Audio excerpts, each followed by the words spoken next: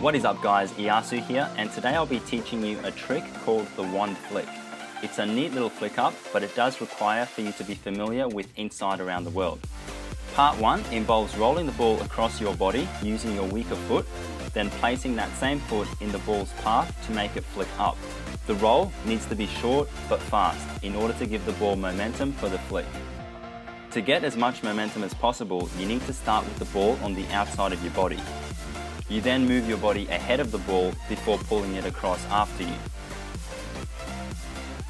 This technique not only allows you to put more momentum into the ball, but also puts you ahead of it, so that when it comes time to do around the world, it will be in line with your body.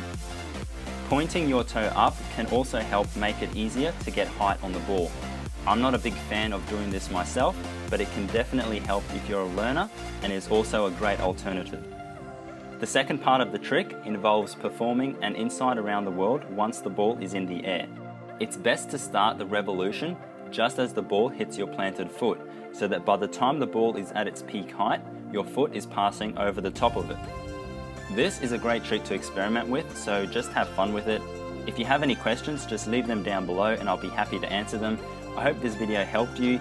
If it did, please give it a thumbs up and be sure to subscribe for more tutorials. I'll see you in my next video, and until next time, peace.